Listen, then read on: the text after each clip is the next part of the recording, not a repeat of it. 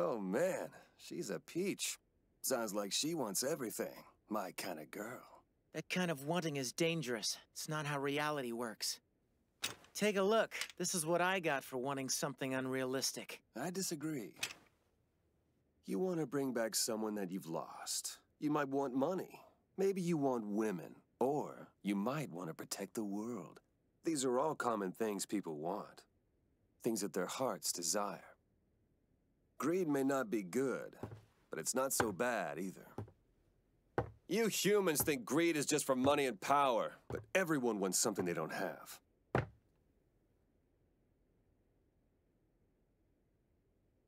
Mm.